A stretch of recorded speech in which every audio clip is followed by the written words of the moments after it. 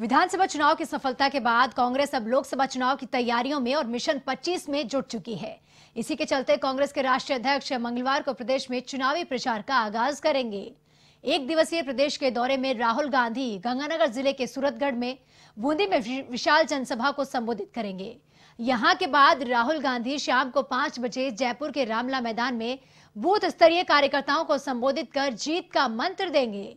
रामला मैदान में होने वाले सम्मेलन के लिए कांग्रेस ने प्रदेश भर के शक्ति प्रोजेक्ट से जुड़े कार्यकर्ताओं को बुलाया है, जिनसे राहुल गांधी सीधा संवाद करेंगे। राहुल गांधी की सभा के लिए तैयारियों को अंतिम रूप दे दिया जा चुका है। इस दौरान संवाददाता दिनेश कसाना में रामला मैदान का जायजा लिया, आप भी देखिए।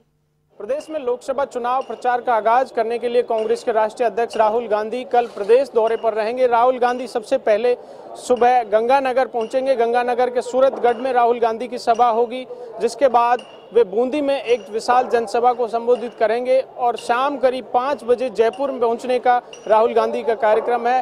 जयपुर में रामलीला मैदान में फ़िलहाल हम खड़े हैं, जहाँ पर राहुल गांधी की सभा होगी और यहाँ जो बूथ स्तरीय कार्यकर्ता उनको राहुल गांधी संबोधित करेंगे। राहुल गांधी के दौरे के लिए ये जो मंच बनाया गया है, आप देख सकते हैं, इस मंच पर करीब दो दर्जन कुर्सियाँ लगाई गई हैं। राहुल गांधी के साथ प्रदेश के जो वरिष्ठ नेता हैं, कांग्रेस के, वो और प्रदेश सरकार का मंत्रिमंडल इस मंच पर मौजूद रहेगा। राहुल गांधी के साथ कतार में मुख्यमंत्री अशोक गहलोत उप मुख्यमंत्री सचिन पायलट, जो प्रभारी अविनाश पांडे हैं, वो भी इस मंच पर मौजूद रहेंगे।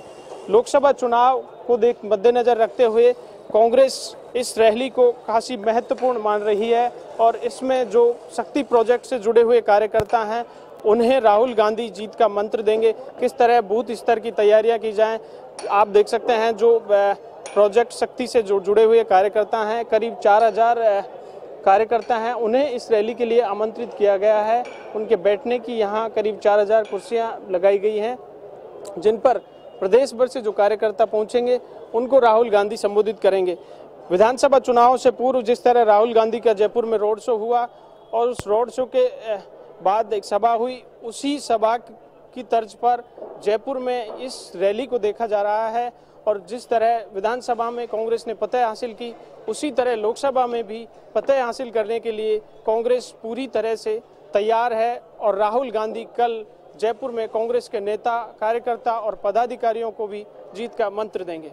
वीडियो जर्नलिस्ट विजय मिश्रा के साथ दिनेश कसाना एवन न्यूज़ जयपुर। देश और दुनिया की हर छोटी बड़ी खबर के लिए सब्सक्राइब करें एवन टीवी न्यूज़ साथ ही बेल आइकन को प्रेस करें ताकि आप पा सकें ताज़ा खबरों की नोटिफिकेशन